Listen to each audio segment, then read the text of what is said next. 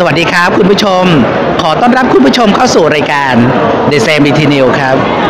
คุณผู้ชมครับวันนี้เรามีแขกรับเชิญที่จะมาร่วมเฟรมสัมภาษณ์ในรายการของเรา เดี๋ยวเราไปรับชมกันเลยครับ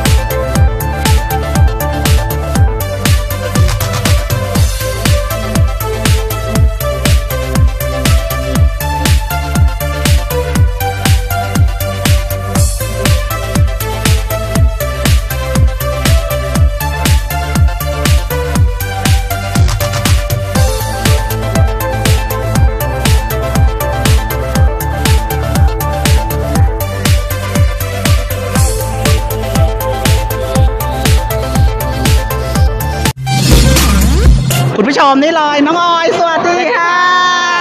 อ้าววันนี้ตัดสินแล้วมีใครอยู่ในดวงใจไหมมีค่ะ แต่ตอนนี้บอกไม่ได้เพราะว่าเราเป็นรุ่นพี่ไง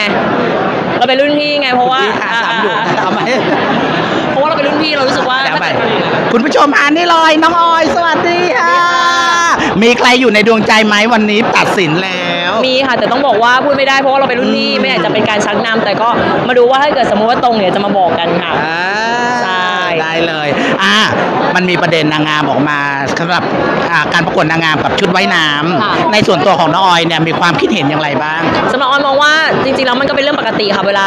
เราจะใส่ชุดว่ายน้ำมันไม่ได้แปลว่าเราใส่ปีนี้ปีแรก ซึ่งเราทำกันมาก็คือหลายปีแล้วคือความ international เนี่ยคือเขาก็เป็นอย่างนี้อยู่แล้วมาตรฐาน ใช่ค่ะสำหรับออยว่า ถ้าเกิดเราใส่ชุดว่ายน้ำ อยู่บนห้างอันเนี้ยออยมองว่าเป็นเรื่องแปลก แต่ในชุดว่ายน้ำมันเป็นการประกวด แล้วมันอยู่บนเวทีมันอยู่ในสถานที่ที่ถูกต้องค่ะไม่ได้ไปใส่ในสถานที่ที่มันเปิดเผยอืมหรือให้คนดูแล้วมันอนาจารอืมซึ่งสำหรับออยมองว่าคนที่คิดอาจจะล้าหลังไปนิดนึงอ่า ใช่ค่ะได้เลยอ่าอยากฝากถึง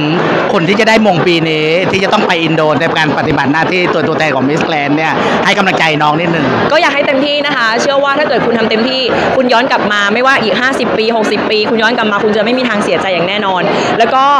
ฝากด้วยค่ะฝากความหวังของประเทศไทยเพราะว่าประเทศไทยเรายังไม่มีเลยอยากให้เป็นมงแรกให้กับประเทศไทยเราแล้วอ้อยเชื่อว่าปีนี้เนี่ยนางงามมีศักยภาพถึงอย่างแน่นอนค่ะ ได้เลยอ่าสำหรับอ่าผลงานของน้องออยตอนนี้ทำอะไรบ้างคะ ตอนนี้นะคะก็เป็นแบรนด์แอมบาสเดอร์กองสลากพัดนะคะ แล้วก็